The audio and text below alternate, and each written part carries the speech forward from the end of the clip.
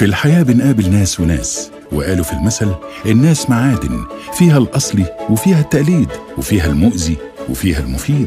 ولأن الحياة من غير ناس ما تنداس؟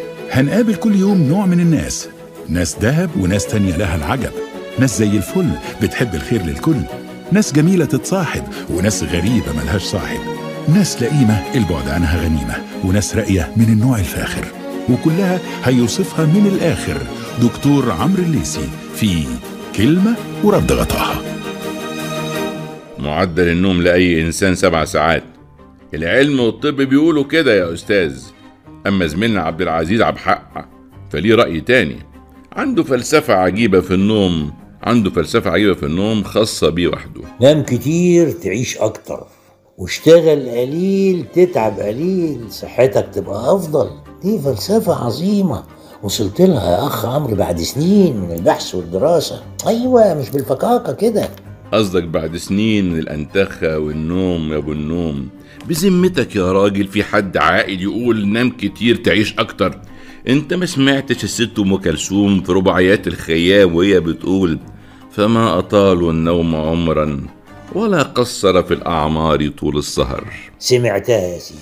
وتفتكر يعني الست أم كلثوم كانت مقتنعة بالكلام ده؟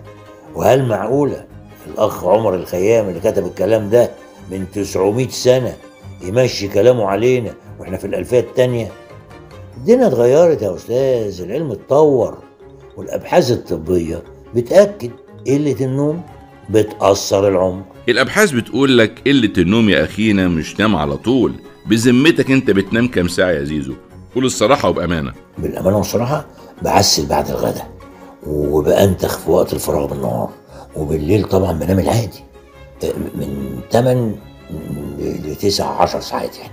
بتنام بالنهار وكمان من الساعة 8 العشاء لغاية 8 الصبح.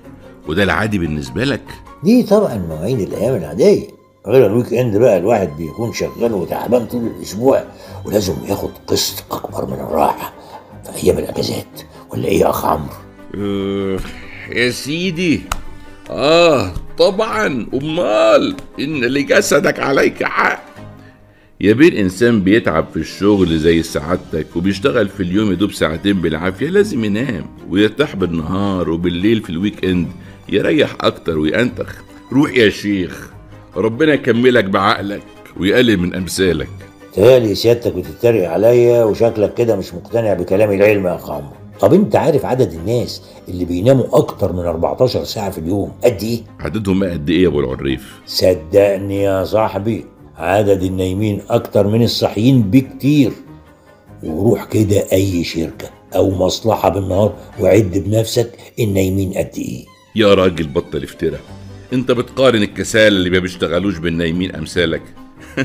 يا زيزو يا اخويا الزمن بيجري والحياة ما بتستناش حد. واللي زيك. خلاص ملهمش مكان. خلاص يا عم عمرو خلاص. خلي السبع ساعات نوم بتوعك دول ينفعوك يا سيدي. وسيبني دلوقتي أروح أنا البيت. أريح وأعسل الساعتين بتوع الظهريه يا سلام. يلا تصبح على خير يا أخ عمرو. بذمتكم. تقولوا له إيه وتتصرفوا معاه إزاي. ابعتوا لنا تعليقاتكم على صفحة كلمة ورد غطاها مع عمرو الليسي وأحمد صيام وحكاياتكم مع أنواع الناس اللي بتقابلوها في حياتكم. هنتكلم عنها في كلمة ورد غطاها. ولغاية ما نتقابل تاني أسيبكم في أمان الله. كلمة ورد غطاها دكتور عمرو الليسي الكاتب الصحفي محمد الشبه أداء الفنان أحمد صيام إخراج تامر حسني.